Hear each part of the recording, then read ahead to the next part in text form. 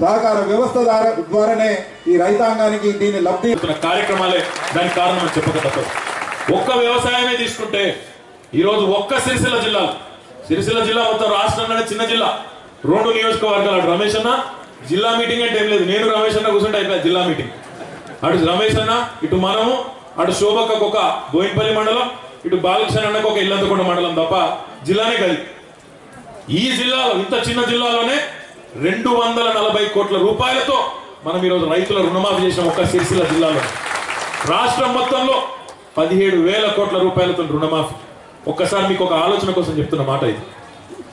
ఈ దేశంలో ఇరవై తొమ్మిది రాష్ట్రాలు ఉన్నాయి